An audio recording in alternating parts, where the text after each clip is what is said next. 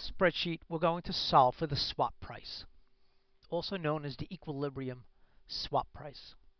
This first spreadsheet is one year with quarterly payments. Here are our quarterly payments in 6 months, 9 months, 12 months. Over here we have our forward rate, which is also known as the implied forward rate. We use these calculations to arrive at these figures.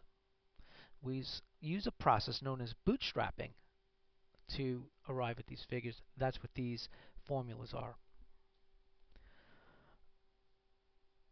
Bootstrapping is logical in the sense that an investor could invest in a six-month LIBOR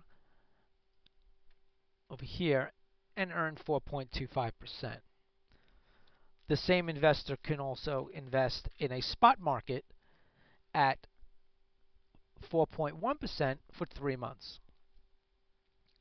Upon the maturity of this deposit for the three month, this investor can invest in another three months.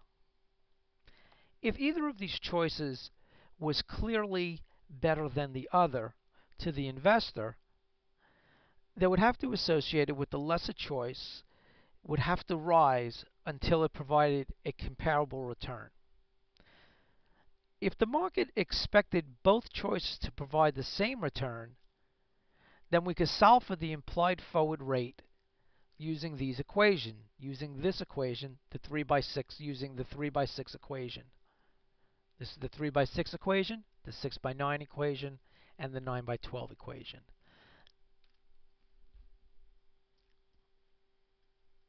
The basis is 360 days per year. Once we solve for our forward rate, which is already done here, we need to calculate discount factors.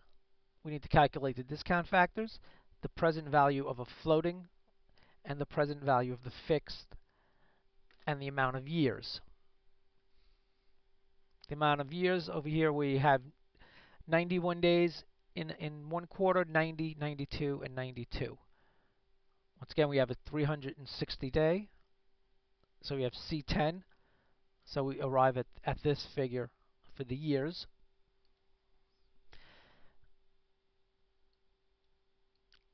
And we use a discount factor, and then we find our forward, our present values and our fixed present value. We use that, and then we have our equilibrium fixed rate.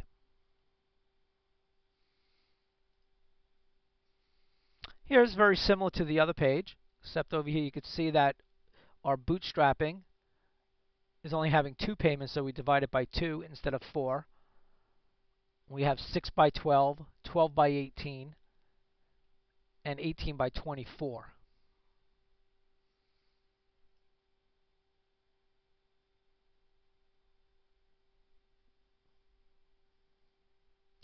Same here, we have, except now we have 182.5 days, which calculates here.